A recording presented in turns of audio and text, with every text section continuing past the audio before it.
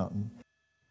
That was Karen Morfitt reporting for us. Now, First Alert meteorologist Dave Aguilera is back with look at all that snow in April. Yeah, snow in April. It does happen quite often. And take a look, still snowing up at the Evergreen Parkway here along I 70, where it's 37 degrees there.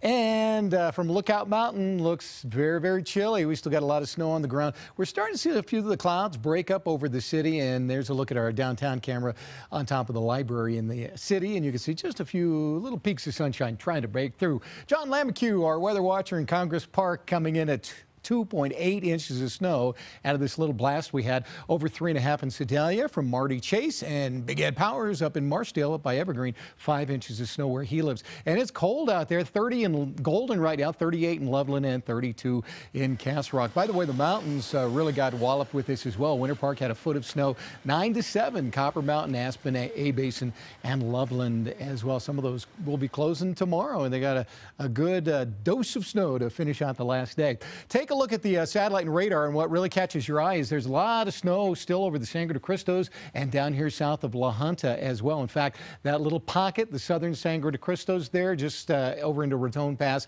still expecting about four to eight inches of snow above 10,000 feet through midnight tonight. So that's still going on there. Meantime, there's our light snow in the foothills continuing here as moisture is still flowing over the Continental Divide here.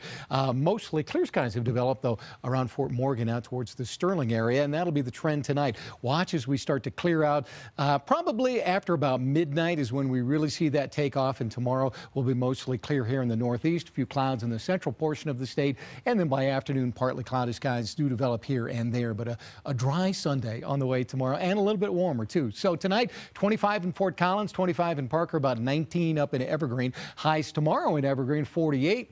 57 in Longmont Firestone. Same thing in Parker for the high temperatures. So mostly sunny, 57 in town tomorrow. 60 degrees on Monday with a few showers or thunderstorms. And uh, what will be happening at that point is we've got a pretty nice cold front that'll be coming through on Tuesday on into Wednesday. First alert weather day possible because we might get a little bit of snow on Tuesday night into Wednesday, but it's going to be a lot of rain. So I think we have several days of rain through Wednesday. 60 on Thursday as we clear it out. And next weekend, weekend right now is looking like temperatures in the 50s by then.